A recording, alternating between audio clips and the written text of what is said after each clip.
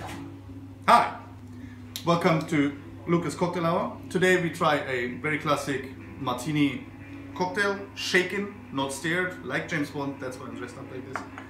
First of all, you start off with a glass. Um, you want to chill, you want to chill your glass so that your cocktail stays cold as long as possible after you pour it into the glass.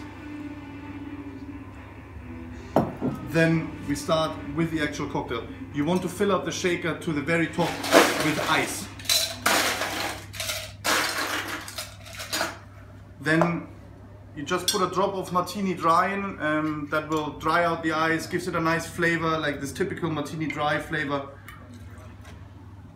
But it does not go into the cocktail, you just flavor the ice.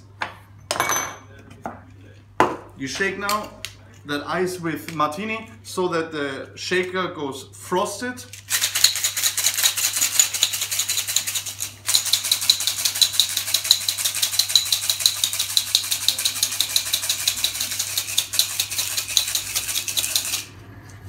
You see the condensation here? Um, I could go now a little bit longer like and really frost it, but that will happen with the next step. Now we just add 50 ml of vodka. You can add more. Um, I don't suggest it because 50 ml is actually quite a lot of pure vodka. Um, don't forget, this cocktail is a pure alcohol cocktail. So it's just alcohol. There's no juice, there's no water except from the ice. Um, and that's it. Like, so it's quite strong. So again, vodka in the shaker with the flavored ice. Shake it and quite some time this time. Like you really want to get every milliliter ice ice cold.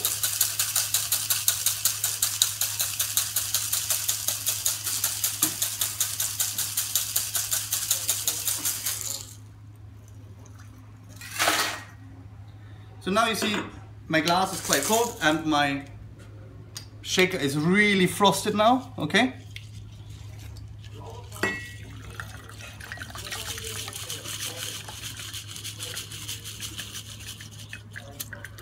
Into the glass and you see all those little ice crystals in there?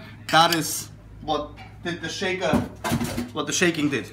Um, for garnish you can either use an olive uh, to make a dirty martini or um, also very classic is just um, a little bit of lemon zest.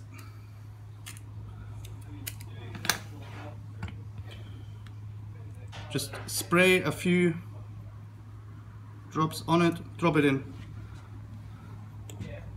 Enjoy. Miss Moneypenny, you want to try?